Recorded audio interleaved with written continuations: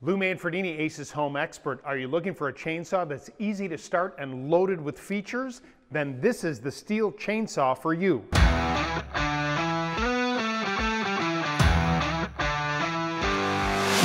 Lou Manfredini, Ace's home expert, and I'm here with Dan from Stihl. Uh, Dan, you brought a couple of gas-powered chainsaws. Uh, I think that for most people, you look at them, they look to be exactly the same, but there's a lot of differences. Talk to me about this one first. So this is our MS-170. It is our entry-level model. It's still packed with all the safety features that you would expect on every Stihl chainsaw, but it's really designed for that use around the home. Um, when it comes to a chainsaw, I mean, you've got all the, uh, the numbers on it, but uh, this uh, appears to be like a 16 inch long bar, right? Yep. So this saw features a 30 cc engine and has a 16 inch bar and chain combination. It has a chain tensioner that's accessible on the front. And uh, overall, just a great machine just for using around the house. All right, so we've got these machines, as I mentioned, that look to be similar, but this unit, though uh, may look the same, is packed with features to improve the overall user experience. Exactly.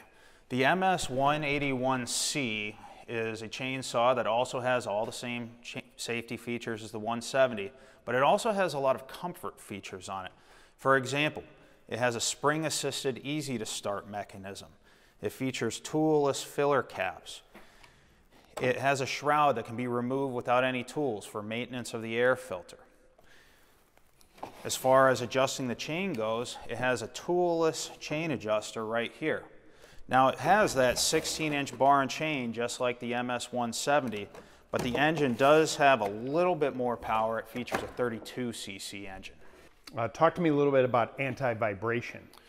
So both chainsaws feature anti-vibration systems. The MS-181 is equipped with a spring anti-vibration system, which is a little bit more robust and also reduces operator fatigue.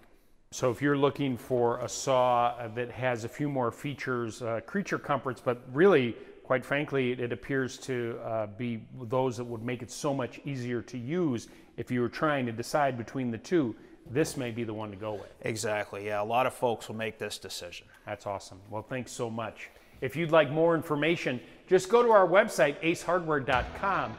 Please follow us on our YouTube channel, or better yet, stop by your local Ace Hardware store because Ace is the helpful place.